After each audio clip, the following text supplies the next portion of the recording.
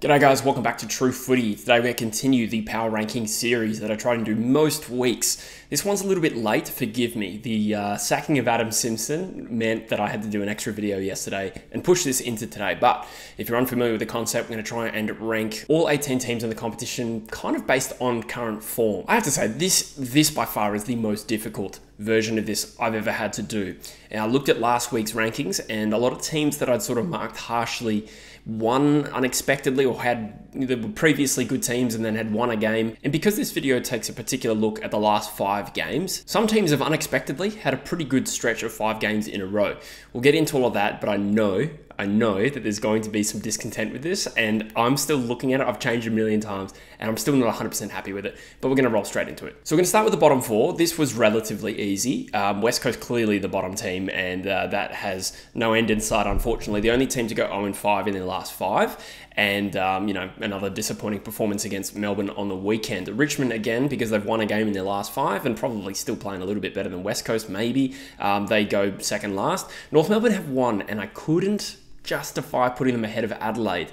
So North Melbourne have won two of their last five and have beaten the Eagles and the Suns in that time and had some pretty good losses as well. Meanwhile, the Crows have only won one of their last five, but there was a good win against the Giants and I thought they were pretty damn good against the Brisbane Lions. And I feel like because there was still a bit of a gap in quality between the bottom three and the rest, North Melbourne are just teetering on the edge of leapfrogging Adelaide, but I'm not quite there yet because I still think Adelaide have gone all right, particularly in the last fortnight.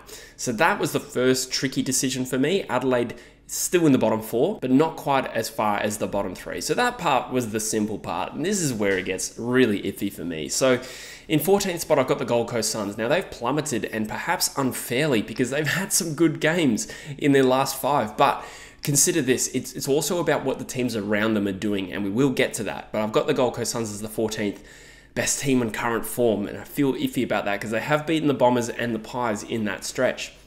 Just above them, I've got Melbourne. And Melbourne, again, in their last five, they've only beaten North Melbourne narrowly, and they've beaten the West Coast Eagles, but they also did play really well against the Lions at the Gabba. So again, we factor in honourable losses to some extent as well. If a team's getting belted, that certainly hurts their ranking, and therefore if they play really well against a good team and nearly win, like they did against the Lions at the Gabba, similar to Adelaide, I do factor that in in their last five, you also include the bad loss to Collingwood, I thought, and the really bad loss to Fremantle. So that's why I have them there. And Collingwood have slumped to 12th. This is another one I feel uncomfortable about. I think I still had them in my top eight last week. I've really shaken things up, but it's just a byproduct of so many teams unexpectedly winning.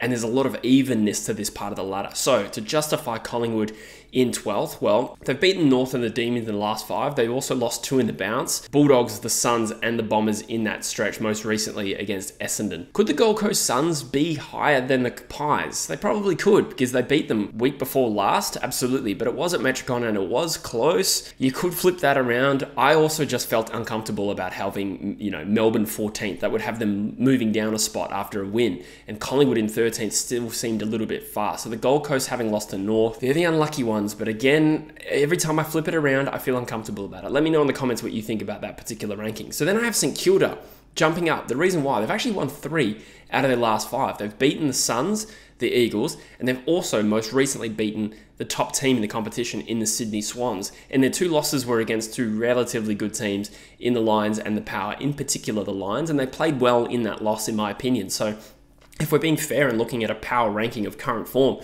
St Kilda's are starting to stack up and they've shot up to 11th in my rankings for that reason. The power also shoot up, you know, a team that I'd started to borderline write off. I tipped them to lose to the Western Bulldogs. They are now 10th with a big win over the Dogs, an eight goal win. Their, their midfield, in particular, a big feature in that game. So they've only won two of their last five over the Dogs and over St Kilda, who is obviously slightly below them. They've lost to the Lions, the Giants, and the Blues. So some relatively good opposition there, in particular, the Lions and the Blues. So then GWS move up into ninth with a good win over Carlton on the weekend. They've beaten the Power in their last five and they've lost to the Swans, Hawks, and the Crows. So a bit of a mixed bag there from the Giants, but they've also recently beaten Port Adelaide, and their big win over Carlton is a big scalp, and therefore they get rewarded for that in these rankings. Fifth to eighth is also a part of the ladder that I'm a little bit uncomfortable with. So I've got the Bulldogs sliding down to eighth. Again, their last five haven't been bad. They've won more than they've lost, and You know, not many teams have actually done that. So in that time, they've beaten North Melbourne, they've beaten Collingwood, they've beaten Fremantle heavily, and that is a good win considering where Fremantle are in the competition right now. They were pretty disappointing against the Power, and they were very disappointing against the Lions too at home. So a real mixed bag, and as such, I've got them about the eighth most informed team of the competition. Essendon sliding back up again, a good win against the Pies, no doubt. They've only won two of their last five, and their other win was against West Coast. They lost to the Suns, they lost to the Blues, then they lost to the Cats most recently. Now, in context, now that Geelong has played well after that, maybe we give them a little bit of a break for losing that game. Is Geelong back? We'll see. Let's talk about Hawthorn now, a team that I had really high in my rankings. I think I had them fourth last week. They are now down to sixth with their most recent big loss against Geelong. But if we're being fair and, and analysing a run of form, Hawthorn's has been very good. So that's my justification for them still being in the top six, although that loss was a little bit of a concern, and we'll see how they respond from that. One loss in their last five, and that's two in, the, I don't know, eight or nine games or something for Hawthorn. So they're still playing really good footy, but justifiably go below Geelong who have now beaten the two teams below them in Essendon and Hawthorn in consecutive weeks. In that time, they've also beaten Richmond. They've lost to Carlton. They've lost to Sydney, who are two of the best teams of the competition. So Geelong's form is starting to rectify a little bit. They're starting to re-emerge as a major player this year. So I have them about the fifth best team in the competition. So then we get our top four, and again, this is tight. This is tight, and uh, I, I have shaken things up. I've got the Sydney Swans down in fourth spot. Now, if you're asking me do I think Sydney are the best team in the competition and likely to win the premiership? I say yes. But if, like I said, we're analysing form here, and in the last five, they dropped two games, which is more so than any of the teams I have above them. So they've beaten the Giants, the Crows, and the Cats, and those are all solid enough wins. They lost to the Dockers narrowly at home. They also lost to St Kilda most recently. So if we're being fair, Sydney need to drop down to about fourth spot because Fremantle is now the third best team in the competition, in my personal opinion.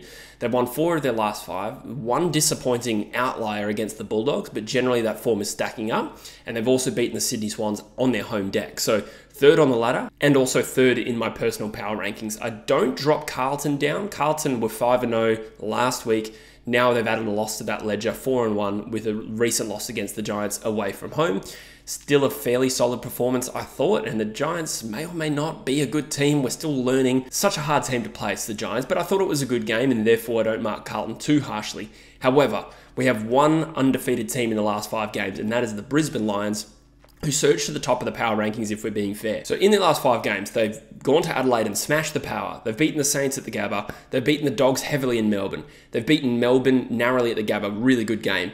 And they held off a very plucky and competitive Adelaide side at the Gabba. So 5 0 justifiably makes them the form team of the competition right now. So to run through some Brisbane Lions stats over the last five games, they're the number one team for inside 50 differential. They're fifth for clearances. They are first for marks, but interestingly, they are triple the next best team. So that's marks differential. The difference between them and their opposition, they are triple the second best team in that stat. I just thought that was interesting. Number one team from scores from stoppage, number three team from scores from turnover, and they're actually second in the league behind Sydney for expected score differential all season. So to clarify that, that's the difference between their expected score and their opposition's expected score. Over the course of the season, they are second, which kind of implies that over the course of the season, had they kicked straighter, um, you know, they'd probably be higher on the ladder. So there you have it. At the moment, Brisbane is the toughest team to beat in the competition, in my opinion, and it obviously helps they've got a really strong home ground advantage which they've kind of corrected now. Obviously, it started the season really poorly. Fremantle surged up into third. That could change. We don't know exactly um, how far that trajectory will go. I'm still comfortable with Carlton second over them, but Fremantle now leapfrogs Sydney and justifiably so.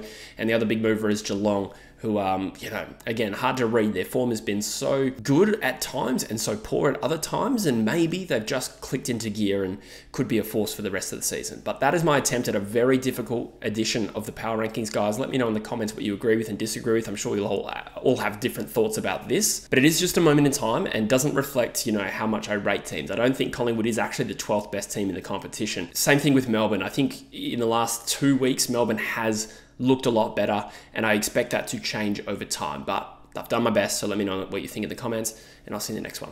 Cheers.